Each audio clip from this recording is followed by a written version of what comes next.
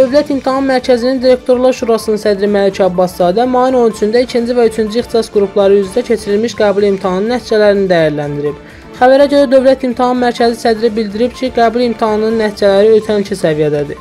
Məlik Abbaszadə qeyd edib ki, bu il abituriyentlərə ilk dəfə imtahan verdiyi ixtisas qrupunu dəyişmə imkanı verilib. Yaz imtahanlarında 2-ci ixtisas qrupu üzrə imtahan verən abituriyentlər yay imtahanında 3-cü ixtisas qrupu üzrə imtahan verə biləcəklər. Biz hələ bilmirik bu dəyişmələr nəticələrə necə təsir edəcək. Yalnız imtahanlar tam başa çatdıqdan sonra hansısa fikir söyləmək olar, deyə Məlik Abbaszadə bildirib.